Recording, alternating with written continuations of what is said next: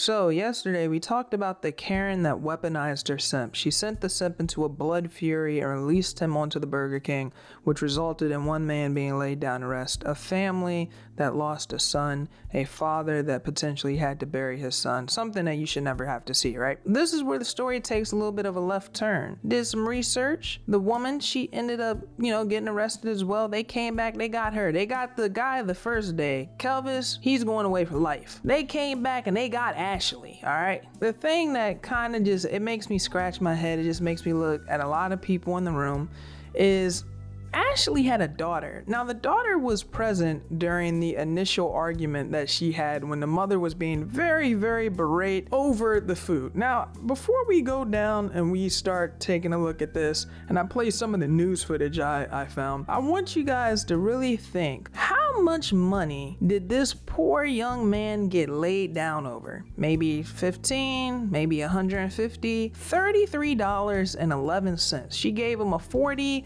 the order was taking too long. She started freaking out. He gave her the 40 back and told her to leave. Now, when they interviewed Ashley's daughter, let's just name her Matilda for video purposes. They don't have her name listed, but let's just call her Matilda. They said, Young Matilda, why would your mother do this? Now, It's Ashley, according to Matilda, felt that they were being disrespected when the employee shut the glass window. You know how when they give you your food, they have the window closed and they may be like talking to some people in the back? They thought they were talking about them and assumed it was disrespectful. So that's what caused this. So she gives the 30, 40. Hey, the order taking too long, starts to yell. They got the window closed, probably saying, Yo, this lady tripping. She said, What you say?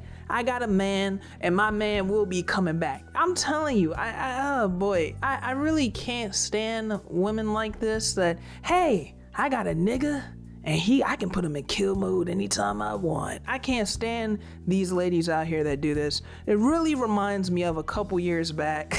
this actually happened in my area as well. She went into a Sprint store in the mall, started cursing out a lot of Hispanic guys. Come to find out her husband was Hispanic. And then this is the extra part. This is where it went left. The husband was sending death threats on Facebook like, "Yo, you better take down that video of my wife, you know, being in that Sprint store saying racist stuff. You better take that down. Like he gonna do something about it. At that point, everybody that seen it, they had pulled every photo off her Facebook and everything. But yeah, it, it really strikes me as that when she's freaking out and all this. And I'm thinking you're doing this in front of a in front of your daughter. That's the thing that is really, really alarming. That's the first part. The second part is during all of this, right? I'm looking at this article and I get to the bottom and they say Ashley Mason's lawyer wants to make sure to know that this guy isn't her husband but a longtime boyfriend. Lady, you have an accessory to a first degree murder charge.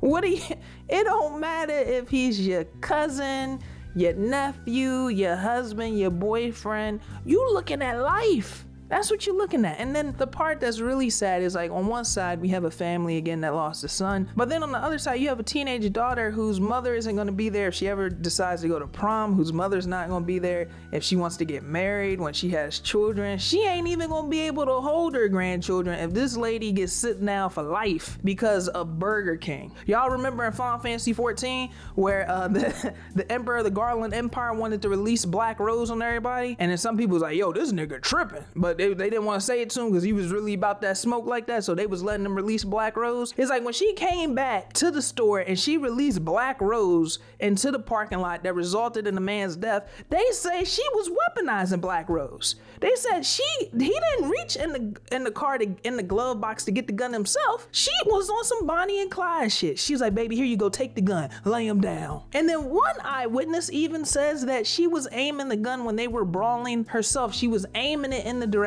Yo, this lady about to get sat down for life. I st- yo, I've been thinking about this for over 24 hours, bro, over Burger King. I had the kingfish yesterday, y'all.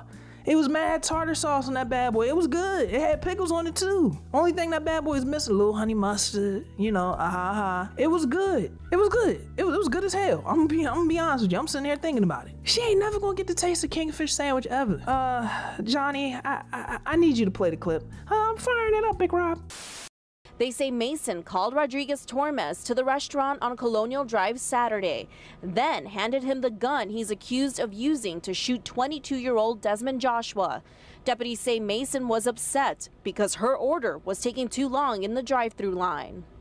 You were arrested pursuant to a probable cause warrant for principal in the first degree to first degree murder and aggravated assault with a firearm. Now, yes, you see that. We're gonna pause the clip right here. You see this? This woman is crying. She up there shaking, looking like she's shitting and pissing on herself. She upset. What you upset for? What? I, I'm not gonna lie. When I first watched this clip, I laughed, bro. I laughed hard as hell. You crying now? You crying?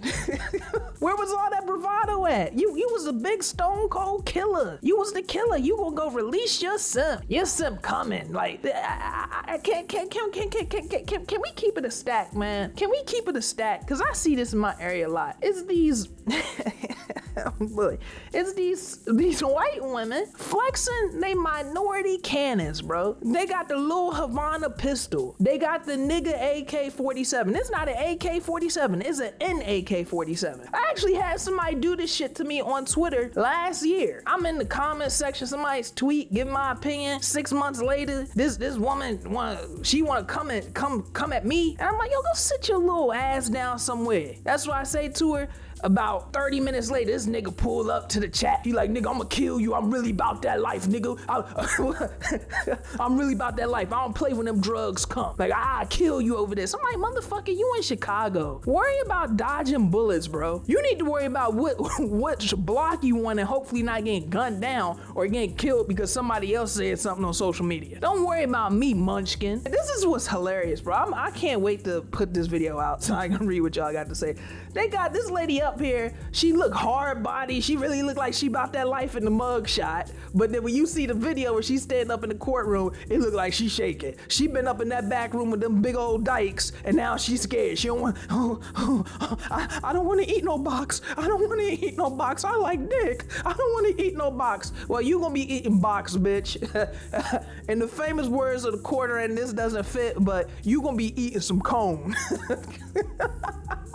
big old bull dykes in the back. You got you have to worry about fighting them bull dykes off your ass. I'm sorry. It, it just it just make me mad her sitting up here in the mugshot. I think I wouldn't feel as bad, right? If in the mugshot she looked, you know, she looked like she was she was sorry for what she did, but she ain't she don't even look sorry in the mugshot. Mugshot, she like, yeah, you know, I handed the gun to him. I did that. That's what a real bitch supposed to do. And she up here crying. Look at her crying. Look at this. Don't make no damn sense. Look at her. I I I I I, I don't want to go. I don't want to go to jail for life. I don't. I, I, I can't do no life. I can't do no life up there shaking and shit.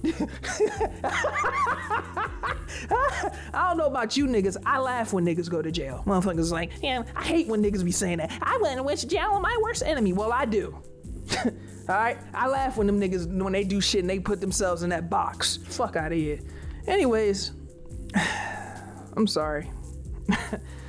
story just it just it just angers me. That's all. It just makes me a little angry. Yeah my fault about not you know standing in front of the camera. I just can't stand the way i look anymore. And every time i see myself in footage i just get angry. So i won't stand in front of the camera. Nah for real but i did shoot some footage and i don't like the way it came out. I'm trying to find like i kind of feel like standing up while talking but i can't find the right setup man. So eh I'm gonna keep playing with it. And my camera died today anyway. So yeah, we're back and you guys are looking at Streets of Rage 4. So we're gonna go ahead and wrap it up here. Hope you guys enjoyed this video. If you did, make sure you leave a like. Give me your thoughts down in the description below. Um, I look forward to reading what you guys say.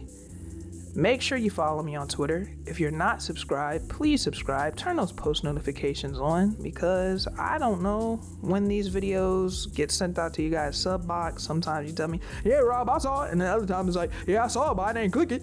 I you oh oh so you ain't gonna do the video. You ain't gonna do the up, eh, update video on what Sky Williams said? All right don't worry. I got something hot for your ass. I ain't clicking nothing.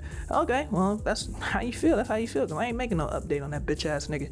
So with that being said I'll catch you guys in the next one. Everybody have a great day, and I'll talk to y'all soon.